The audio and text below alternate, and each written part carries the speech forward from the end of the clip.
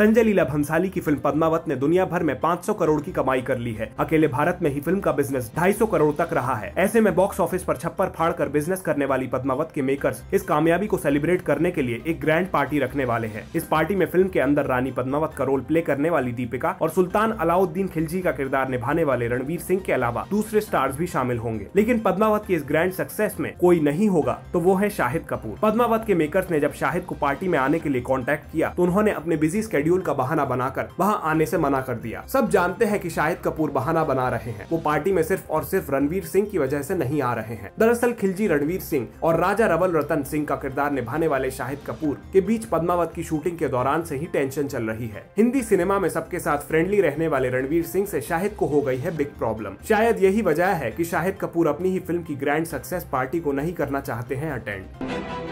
देश और विदेश की हर तरह की न्यूज़ को हिंदी में सबसे पहले देखने के लिए हमारे चैनल लोकमत न्यूज़ हिंदी को सब्सक्राइब करना ना भूले।